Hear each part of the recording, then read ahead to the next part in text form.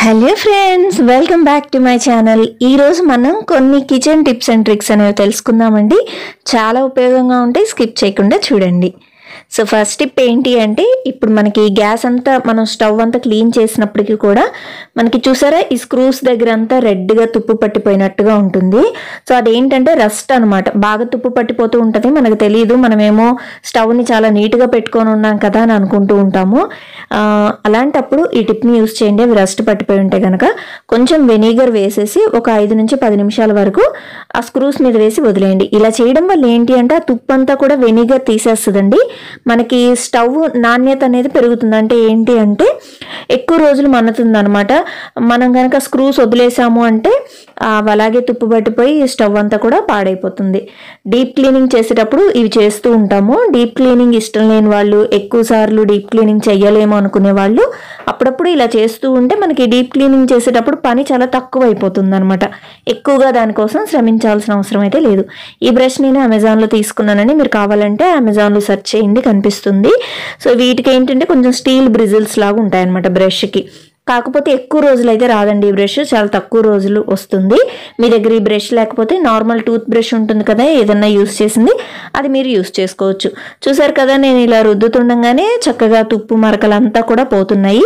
ఇదే విధంగా మనం గ్యాస్ స్టవ్ వెనక భాగంలో ఉంటుంది కదండి ఆ వెనక భాగంలో ఉండే వాటిని కూడా చక్కగా వెనిగర్ వేసేసుకొని క్లీన్ చేసుకోవచ్చు అనమాట మనకి తుప్పు పట్టకుండా నీట్గా ఉంటాయి. అస్తమానం మనము గ్యాస్ స్టవ్ని కడుగుతూ తుడుస్తూ ఉంటే ఆ వాటర్కి ఏమవుతుందంటే తుప్పు పట్టడం స్టార్ట్ అవుతుంది.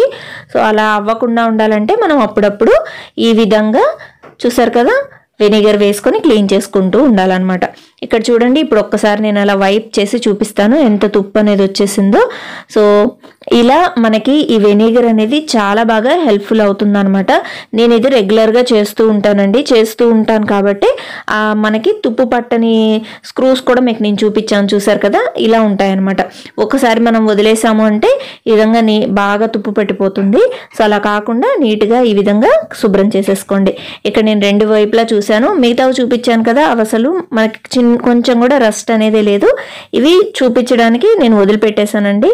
ఈ విధంగా మీకు అర్థమవుతుంది అన్న ఉద్దేశంతో చూసారు కదా ఇంత నీట్గా అయిపోతుంది అనమాట మనము స్టవ్ తీసుకోవడమే కాదండి దాన్ని మెయింటైన్ చేయడం కూడా కరెక్ట్గా చేసుకుంటే కనుక మనకి ఎక్కువ రోజులు గ్యాస్ స్టవ్లో ఎటువంటి ప్రాబ్లమ్స్ అనేవి రాకుండా ఉంటాయన్నమాట. ఇది గ్లాస్ స్టవ్ అయినా సరే స్టీల్ స్టవ్ అయినా సరే ఏదైనా ఈ విధంగా మెయింటైన్ చేయొచ్చు. నెక్స్ట్ స్టెప్ ఏంటి అంటే మనం ఇలాంటి జ్యూసెస్ ఎప్పుడూ తీసుకుంటూనే ఉంటాం కదండి. ఈ టెట్రా ప్యాక్స్ ఏంటంటే మనకి చాలా స్ట్రాంగ్గా ఉంటాయి అనమాట ఈ టెట్రా ప్యాక్స్ అనేవి. మనం ఏంటంటే పడేస్తూ ఉంటాము. అలా పడేయకుండా దీన్ని ఉపయోగించి మనం ఏం చేయొచ్చు అనేది చూపిస్తాను చూడండి. నేను ఈ విధంగా ఇక్కడ కట్ చేసేసుకుంటున్నాను. చూసారు కదా? మొత్తం కూడా ఫ్రంట్ పార్ట్ ఏదైతే ఉందో అది మొత్తం కూడా ఇలా కట్ చేసేసుకుంటున్నాను చూడండి. వీడియోలో చూపిస్తున్నట్టుగా నేను ఈ విధంగా ఫ్రంట్ పార్ట్ మొత్తం కూడా ఇలా కట్ చేసేస్తున్నాను. దీన్ని మనం చాలా విధాలుగా ఉపయోగించుకోవచ్చండి. ప్రస్తుతం నేను ఎలా ఉపయోగిస్తున్నాను అనేది చెప్తున్నాను మీకు. మీకు ఇంకా వీటి గురించి టిప్స్ కావాలంటే నేను చెప్తాను. ఎందుకంటే వీటిని నేను చాలా విధాలుగా ఉపయోగించుకుంటాను. జ్యూసెస్ అనేవి రెగ్యులర్గా తీసుకుంటూ ఉంటాం కాబట్టి వీటిని. ఇప్పుడైతే ప్రస్తుతం దీనిలో మట్టిని ఫిల్ చేశాను. మనకి సీడ్లింగ్స్కి ట్రే కావాల్సి వస్తుందండి. చెట్లు వేసుకునేటప్పుడు ముందు సీడ్స్ వేసుకుంటాం కదా ఆ సీడ్స్ వేసుకున్నప్పుడు ట్రే కావాల్సి వస్తుంది. అలా ట్రేస్ కొనకుండా ఈ విధంగా నేను ఇప్పుడు దీనిలో మిరప చెట్లు వేశానండి. కరెక్ట్గా ఒక పది విత్తనాలు ఏమో పెట్టాను. సో ఇవి సీడింగ్ అనేది ఇంకా మొత్తం మొక్కలు రావడం అనేది స్టార్ట్ అయిందనమాట. చూసారు కదా ఇవి కొంచెం పెరిగి పెద్ద అయ్యాక మనం పాటింగ్ అనేది మార్చుకోవచ్చు అనమాట. సో నెక్స్ట్ టిప్ ఏంటి అంటే ఫ్రెండ్స్ ఇలాంటి డబ్బాలు మనకి ఇంట్లో వస్తూనే ఉంటాయి. ఏదన్నా ఫుడ్ ఆర్డర్ చేసుకున్నా స్వీట్స్ ఇలాంటివి ఏదన్నా తీసుకున్నా ఇలాంటి బాక్సులు అనేవి మనకు వస్తూ ఉంటాయి. వీటిని పడేయకండి. కొంచెం స్ట్రాంగ్గానే ఉంటాయి. కొన్ని రోజుల వరకు మనం చక్కగా యూస్ చేసుకోవచ్చు వీటిని నేను ఏ విధంగా యూస్ చేస్తున్నానో చూపిస్తున్నానండి. ఇక్కడ చూసారు కదా నేను మిరపకాయలన్నీ స్టోర్ చేసుకోవడానికి యూస్ చేసుకుంటున్నాను. పచ్చిమిరపకాయలు యూస్ చేసుకోవడానికి. ఇవేంటంటే కొంచెం పొడవు అనమాట కాయలు అనేవి. పెద్ద పెద్ద బాక్సులు కావాల్సి వస్తుంది. అదే ఇవి అనుకోండి కొంచెం లెంత్ కూడా ఎక్కువ ఉంటుంది. చక్కగా ఇవి స్టోర్ అయిపోతాయి అనమాట మనం కట్ చేయకుండానే జస్ట్ తొడిమెల వరకు తీసేసి చక్కగా వీటిలో మిరపకాయలు అనేవి స్టోర్ చేసుకోవచ్చు. ఇలా స్టోర్ చేసుకునేవి తక్కువ కానీ ఎక్కువ కానీ మీరు టిష్యూ పేపర్ వేసుకుంటే ఇంకా చక్కగా ఫ్రెష్గా ఉంటాయి. నేను జస్ట్ చూపిస్తున్నాను మీకు ఈ విధంగా మనము ఈ బాక్సులు అనేవి ఉపయోగించుకోవచ్చు అనమాట చూసారు కదా? నెక్స్ట్ టిప్ ఏంటి అంటే చాలామందికి వామాకు తినడం ఇష్టం ఉండదండి. నేను ఇంతకుముందు వీడియోలో ఒకసారి వీటితోటి కర్రీ చేసి చూపించాను. ఇప్పుడు కూడా ఒకసారి చెప్తున్నాను. ఈ వామాకి ఏంటంటే మనకి అరుగుదలకి పిల్లలకి ఇప్పుడు జలుబులు దగ్గులు ఇలాంటివి రాకుండా ఉండడానికి చాలా బాగా హెల్ప్ అవుతుంది. బట్ చాలామంది ఇష్టపడరు తినడానికి. మీరు ఏం చేయొచ్చు అంటే ఎప్పుడైనా పప్పు చేసుకునేటప్పుడు ఒక పది నుంచి ఒక పదిహేను ఆకుల వరకు పప్పులో వేసేసేయండి. మీరు బాగా తరుక్కుని వేసుకోవచ్చు లేదంటే ఆకు ఇలాగే వేసేసుకోవచ్చు కూడా. అసలు స్మెల్ కూడా రాదండి మీకు పప్పు చేసిన తర్వాత కూడా. అసలు ఈ పప్పులో వామాకు వేసున్నాము అనేది కూడా తెలియదు అనమాట వాళ్ళు చక్కగా ఇష్టంగా తింటారు మీరు. ఒకసారి ట్రై చేసి చూడండి. చాలా చక్కగా వస్తుంది ఈ పప్పు అనేది. చూసారు కదా? చక్కగా కలిసిపోయింది. ఇప్పుడు దీనికి మనం తాలింపు పెట్టుకుంటే సరిపోతుంది. నెక్స్ట్ టిప్ ఏంటంటే ఫ్రెండ్స్ మనము ఇడ్లీ కుక్కర్ యూస్ చేస్తూ ఉంటాం కదా స్టీల్ది కానివ్వండి లేకపోతే సిల్వర్ది కానివ్వండి అంటే అల్యూమినియంది ఏది యూస్ చేసినా సరే ఈ టిప్ని మీరు యూస్ చేసుకోవచ్చు. ఇప్పుడు మనం నీళ్ళు ఫిల్ చేసిన తర్వాత అది మనం యూస్ చేస్తుండే కొద్దీ లోపల నల్లబడిపోతుంది. ముఖ్యంగా స్టీల్ అయితే చాలా నల్లబడతాయి అనమాట అలా అవ్వకుండా ఉండడానికి వాటర్ వేసిన తర్వాత ఒక కొంచెం చింతపండు అందులో వేసేసి మనం నార్మల్గా ఇడ్లీ అనేది పెట్టేసుకోవడమే అనమాట ఇందులో. ఇలా పెట్టేసుకోవడం వల్ల ఏంటి అంటే మనకి స్టీల్ అనేది నల్లబడి పడిపోకుండా ఉంటుందన్నమాట. అండ్ ఇంకోటి ఏంటి అంటే మనము ఇడ్లీ పెట్టుకునేటప్పుడు ఇడ్లీ పాత్రలో చాలామందికి ఏంటంటే అంటుకుపోతూ ఉంటాయి ప్లేట్స్లో.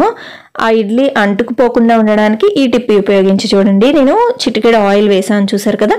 ఒక్క డ్రాప్ ఆయిల్ వేసుకుంటే సరిపోతుందండి. ఎక్కువ ఏమీ అవసరం లేదనమాట మనకి ఏంటంటే ఇడ్లీ అతుక్కోకుండా కొంచెం నీట్గా రావడానికి ఈ ఆయిల్ అనేది కొంచెం హెల్ప్ అవుతుంది. ఇప్పుడు ఏంటంటే ఒక బ్రష్ తీసుకోండి సిలికాన్ బ్రష్ కానీ లేదంటే మీరు చేతితోటి కూడా అలా అనేసుకోవచ్చు. నేను ఇక్కడ చూపిస్తున్నాను కదా ఈ విధంగా మొత్తం కూడా స్ప్రెడ్ అయ్యేలాగా మొత్తం ఇలా అనేసుకోండి. ఇలా అనుకున్న తర్వాత దీనిలో ఇడ్లీ అనేది పెట్టేసుకోండి. ఇడ్లీ బ్యాటర్ అనేది పెట్టేసుకోండి. ఇలా చేయడం వల్ల ఏంటంటే మనకి అతుక్కోకుండా నీట్గా వచ్చేస్తుంది అనమాట కొంతమందికి ఏంటంటే కొంచెం గట్టిగా అయిపోయి అక్కడ అతుక్కొని పోతుంది. అంతేకాకుండా ఏంటంటే మనం బ్యాటర్ చేసుకునే విధానాన్ని బట్టి కూడా మనకి ఇడ్లీ అతుక్కోవడం అలా జరుగుతుంది అనమాట కొంచెం స్మూత్ బ్యాటర్ అనుకోండి. అతుక్కోకుండా నీట్గా ఇడ్లీ అలా ఇట్లా మనకి జస్ట్ ఇట్లా అనగానే తునిగిపోయే విధంగా చాలా చక్కగా రెడీ అవుతాయి అనమాట ఇక్కడ దాన్ని బట్టి కూడా మనకి ఇడ్లీ తునిగిపోవడం అనేది ఉంటుందన్నమాట. అంటే అతుక్కోవడం ప్లేట్కి అలాగే ఉండేది ఉంటుందన్నమాట. ఇక్కడ నేను బ్యాటర్ అంతా వేసాను కదండి. ఇప్పుడు మీకు నేను ఇడ్లీ తీయడానికి వాడే గెరిటని కూడా ఒకసారి చూపిస్తానండి. చాలామందికి తెలియదు ఈ విషయము. సో ఒకసారి చూడండి. ఇడ్లీ గెరిట మీకు ఎక్కడైనా ఇది కనిపిస్తే ఏ ఆన్లైన్ షాపుల్లోనో లేకపోతే బయట కూడా మనకు దొరుకుతుందండి.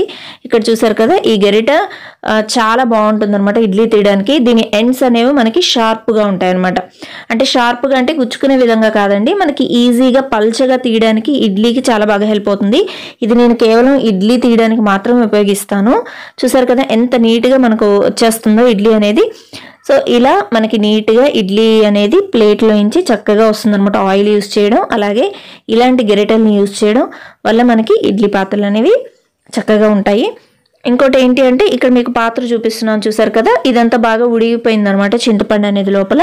ఒకసారి దీన్ని కడిగి నేను చూపిస్తానండి కడగడం అంటే మీరు స్టీల్ స్క్రబ్ అయినా ఒకసారి ఆ చింతపండును పడేయకుండా చింతపండుతో పాటుని ఆ పాత్రని మొత్తం రుద్దండి. మీకు మరీ ఎక్కువగా స్టెయిన్ అయిపోయింది ఇప్పుడే ఇది యూజ్ చేయడం స్టార్ట్ చేశారంటే కనుక కొంచెం ఉప్పు వేసుకొని దాన్ని బాగా రుద్దేయండి చింతపండుతో పాటే. చూసారు కదా ఎంత చక్క చూసారు కదా ఫ్రెండ్స్ ఈ టిప్స్ అన్నీ నచ్చితే కంపల్సరీ లైక్ షేర్ అండ్ అలాగే నా ఛానల్ని సబ్స్క్రైబ్ చేసుకోవడం మాత్రం అసలు మర్చిపోకండి. Bye bye.